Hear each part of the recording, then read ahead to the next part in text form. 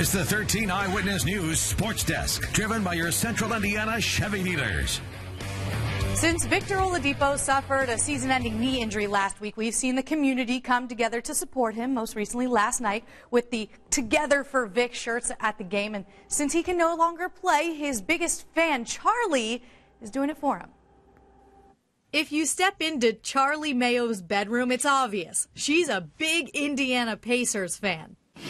This is Miles, my bearded dragon. Her pet lizard is named after Miles Turner. He's being like really good today for some reason. But for Charlie, one specific player stands out above the rest. This is my hat that has a lot of the Pacer signed on it. I'm not for sure like who's all on it, but I know Victor is right here. He signed it right there. He has a special lid. place on it. Yeah. He puts a lot of hard work in and he's always positive towards like himself and like the team and he always brings just a good energy and um, he does a lot for the fans. Over the years, Charlie has had a chance to meet Oladipo more times than she can count, and the memorabilia has piled up. Okay, this is the best thing in my room, I think. So these are um, my shoes that he gave me for uh, my birthday last year in April. He's got somebody in mind already. All I want for birthday are the big shoes.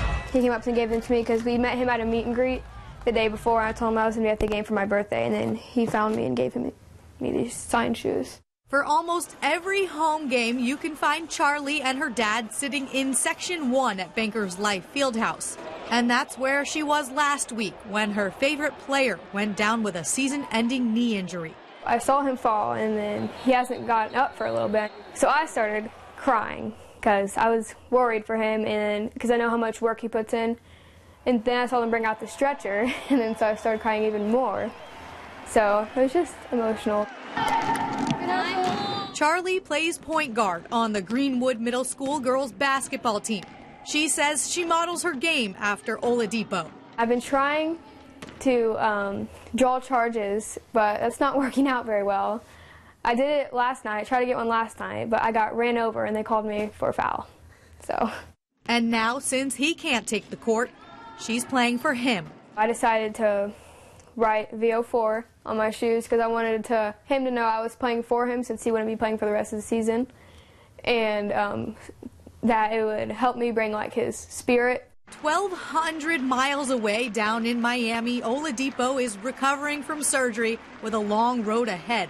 But he's far from alone with Charlie in his corner. Keep your head up, um, that you're going to get through this okay. It's going to be all okay and that um, your comeback is going to be amazing, and I can't wait to be there to watch it, and that I will always have your back through this whole journey. Well